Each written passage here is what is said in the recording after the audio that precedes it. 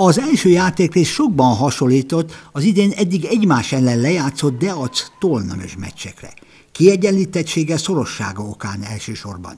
Mindkét csapat állandó veszélyt jelentett támadójátékával, ekkor a vendég fehérmezben játszó debreceni egyetemistáknak sikerült egy nullás vezetésre szert tenniük.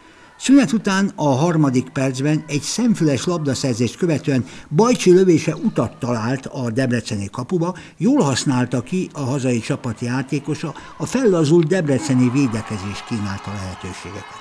Ezzel lett egy-egy. Játékban már inkább a tolnames dominált, de hátrányba került mégis a kék csapat. Nincs visszarendeződés, viszonylag könnyű gólt érnek el a vendégek zicserből, tolnames Debrecen 1-2. Ezzel, mint utólag kiderült, a hajdúságiak el is lőtték valamennyi puskaporukat, és a várakozást felülmóló módon beindult a tolnamezsi gólgyártás, a saját nevelésű ifik főszereplésével.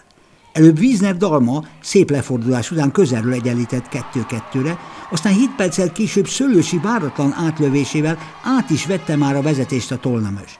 Folyamatosan nehezen kibírható nyomást gyakorolt ellenfelére a kékmezes hazai alakulat. A játékmester a szintén saját nevelésű ifista Vámosi Georgina volt, aki sok élményszámba menő megoldásának egyikéből sakmat helyzet után Nagy Noémi szerzett újabb tolnamezsi gólt, ezzel lett 4-2. Aztán a következő az ellenfél védelmét úgy, ahogy van, felfűző, vámosi szóló után már ő maga egyébként a mezőny legjobbja fejezte be az akciót, beállítva ezzel a végeredmény Tolnamös Debrecen 5-2.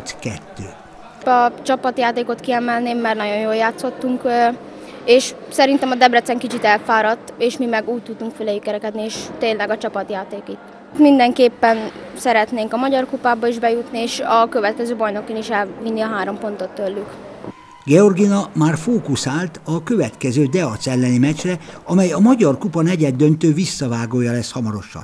Az első szintén itt Tolnál lejátszott mérkőzésen, mint ismeretes, csak egy góllal 4-3-ra nyert Nagy Roland együttese, így minden bizonyal jóval nehezebb meccsre számíthatnak a lányok Debrecenben, mint ez a legutóbbi mostani volt. Van egy minimális előnyünk, hál' Istennek a Debrecen ellen a kupa visszavágon, amit megpróbálunk megőrizni, meg szeretnénk mindenféleképpen a Final four bejutni, úgyhogy igyekszünk tovább a, ezen az úton.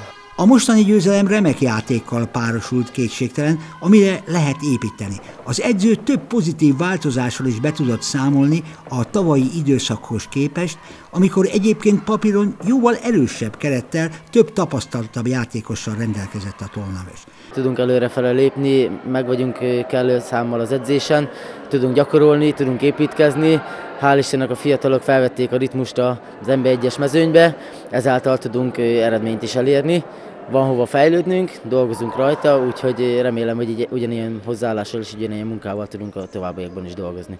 Nem tűnt fel a szurkolóknak ezúttal, hogy a Deac ellen nem játszott a kulcsjátékosnak számító, már magyar válogatott Szalkai Kitti, és a fontos, hasznos csapatembernek számító Csapó Orsolya sem állt az együttes rendelkezésére.